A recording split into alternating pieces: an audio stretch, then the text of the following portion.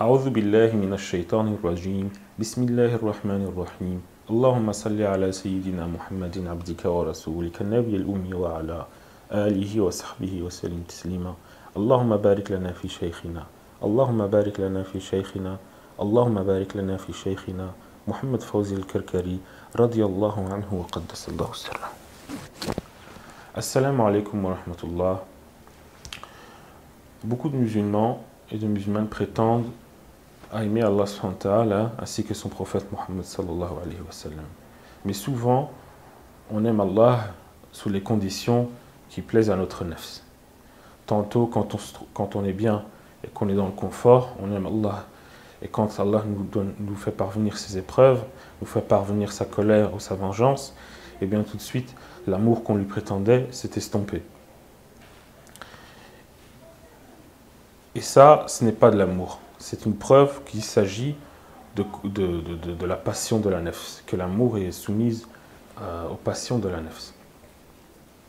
Et enfin, parce que le réel amour, c'est l'amour qui, l'amour qui, qui n'a pas de condition. Vous aimez Allah dans le bien comme dans le mal. Puisqu'en réalité, pour Allah, il n'y a pas de bien, il n'y a ni de mal. Il y a juste Allah. Et, donc vous, vous devez être capable de l'aimer en enfer comme au paradis. Vous devez être capable de refuser le paradis et d'accepter l'enfer. Ça, c'est l'amour. Pour Allah, c'est ça l'amour. C'est un amour sans condition. Et le prophète Mohammed, dans un hadith, nous indique quelles sont les conséquences de l'amour et quelle implication que porte l'amour en Allah ainsi que l'amour du message de Dieu. Un homme est venu auprès du prophète Mohammed sallam et il dit oh, oh message de Dieu, je t'aime. Et le message de Dieu lui répond considère bien ta parole. Et ce sur quoi l'homme jura par trois fois je t'aime.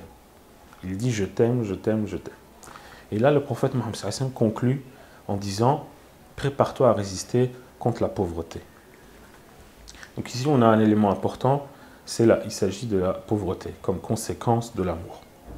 Alors de quelle pauvreté s'agit-il? Bien évidemment, il y a un aspect extérieur de la pauvreté qui est la perte de biens matériels, qui, est à prendre en considération dans les conséquences de l'amour, mais il y a aussi une facette intérieure. Et c'est celle-ci qui est la plus importante en réalité. Alors, pour expliquer la, facette intérieure de, la pauvreté, il y a un bel exemple pour cela. C'est, on la trouve en la personne du pauvre. La personne que vous croisez dans la rue, que, auquel vous, en, habituellement on ne prétend aucune attention. Cette personne-là, qui mendie dans la rue, eh bien, elle a des caractéristiques qui, euh, sont euh, ceux qu'on devrait, euh, entre guillemets, effacer intérieurement. Je vous explique.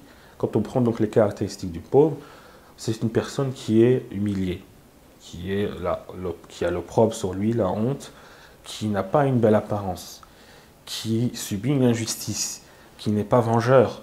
Hein c'est quelqu'un qui, en réalité, est tout simplement inexistant aux yeux du monde. Puisque quand on passe en général devant un mendiant ou des personnes pauvres qui, dans la rue qui sont assis, qui sont assises dans la rue pour demander de quoi, de quoi subvenir à leurs besoins, eh bien en général, les gens passent devant, devant eux sans tenir compte euh, de leur présence en fait. On n'y prête aucune attention. Et c'est pas pour rien qu'on n'y prête aucune attention. Et on va y venir, Inch'Allah. Donc d'abord les caractéristiques. Donc lorsqu'on prend toutes les caractéristiques que je viens de citer, on remarque que l'inverse, l'opposé de ces caractéristiques, correspond souvent à des noms divins qui appartiennent à Allah. On a par exemple la pauvreté, euh, le sens premier de la pauvreté, donc qui est, qui est la, perte de biens matériels, et, donc un manque de biens, de, biens, de matériel. Et de l'autre côté, on a Allah qui est le riche. D'un côté, on a l'humilité, la honte, et de l'autre côté, on a Allah l'orgueilleux. D'un autre côté, on a euh, la mauvaise apparence, euh, quelqu'un qui n'est pas beau, non présentable. De l'autre côté, c'est Allah qui est le beau. C'est à lui qu'appartient la beauté. Et donc on voit que l'inverse de ces caractéristiques correspondent a, a plusieurs noms divins d'Allah subhanahu Et donc, à quoi nous appelle ici le message de Dieu Il nous appelle en fait à la pauvreté extérieure et intérieure. Le but du cheminant, c'est euh, de trouver un cher qui lui transmet la lumière. Cette lumière-là sera son, son armement, sera son arme avec laquelle, sera son cheval avec lequel, euh, avec lequel il va chevaucher. Et il va chevaucher pour éliminer toutes ces caractéristiques que prétend la nefs, toutes ces, ces parts que, la nefs se prend dans les noms divins. Parce que c'est ce qu'elle fait pour pouvoir continuer à vous faire croire que vous existez, alors que vous n'existez pas. Allah, Allah a dit. Il est unique, il n'y a personne avec lui. Donc, qu'est-ce qu'elle fait la nefs? Elle, s'attache à ces caractéristiques-là, à la beauté, à la richesse, à l'orgueil, tout ce qui peut en fait lui donner une quelconque, euh, euh, présence, quelconque euh, affirmation dans son existence, alors qu'elle n'existe pas. Et donc le but de cheminant, c'est voilà, c'est de supprimer toutes ces caractéristiques jusqu'à faire disparaître de lui petit à petit son ego par la lumière de la Et enfin, quand il s'éteindra complètement, quand il réalisera son, sa non-existence complètement, alors à ce moment-là, il pourra dire J'aime Allah, j'aime le prophète Mohammed. Parce qu'Allah n'accepte pas de vous que vous ayez quelqu'un d'autre avec lui dans son amour, que vous, vous comprenez? Il veut une adoration exclusive à lui. Et, euh, et donc, par cela, le cheminant, il rentre dans, dans, le fana, dans, le fana fillah, il s'éteint en Allah et il pourra prétendre à aimer Allah Et à ce moment-là, en réalité, les vrais amoureux diront Je n'ai jamais, je n'ai jamais aimé Allah, je ne l'aimerai jamais, parce que nul n'aimera Allah et nul n'aime Allah si ce n'est Allah lui-même. Voilà le réel amour. La réalité de l'amour envers Allah et envers son prophète, Muhammad sallallahu alayhi wa sallam.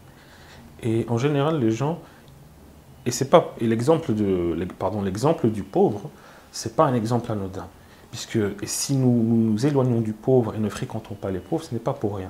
Parce que justement, la pauvreté, cet état de pauvreté, est en, est en fait la meilleure représentation, la meilleure, euh, oui, la meilleure représentation de de la, de, de la non-existence.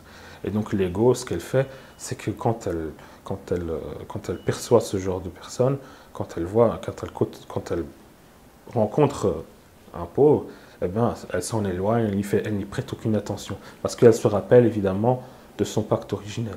Or, Allah et son prophète ont enjoint les gens à, à, côtoyer les pauvres. Le prophète Sassim était quelqu'un qui fréquentait les pauvres, qui ne les, ne les éloignait pas de lui, qui ne, les, qui ne leur commettait pas de tort, qui ne leur, qui ne leur faisait pas de tort. Pardon.